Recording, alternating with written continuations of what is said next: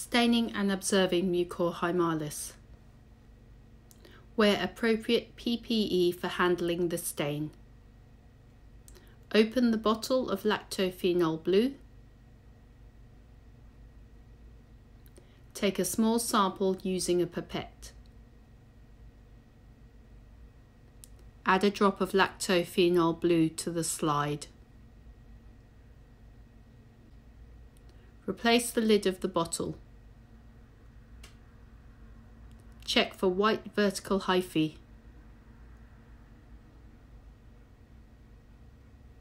Discard if black spores or contamination is present.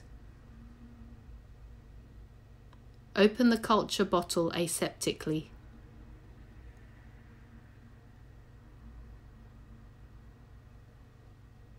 Using clean forceps, take a pinch of hyphae. Replace the lid. Place the hyphae into the stain.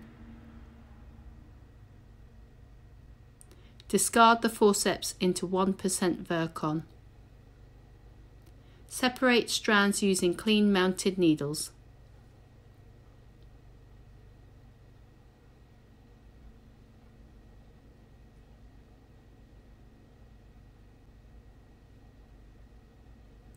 Discard the mounted needles into 1% Virkon. Lower a cover slip onto the sample.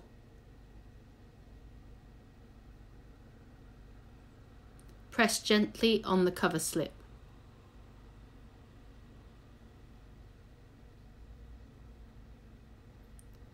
Fold a paper towel over the slide and press.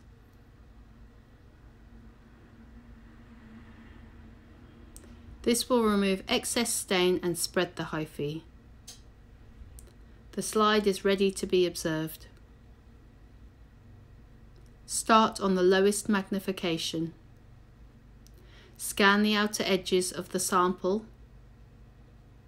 It is less dense here and easier to observe hyphae.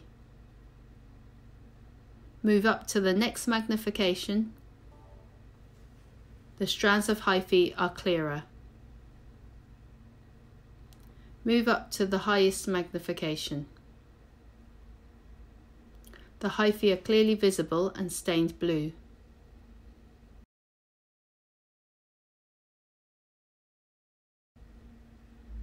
Use a smartphone to increase the zoom down the eyepiece lens. Circular structures are sporangia filled with spores. For more information, search Mucor hiemalis at www.cleapss.org.uk.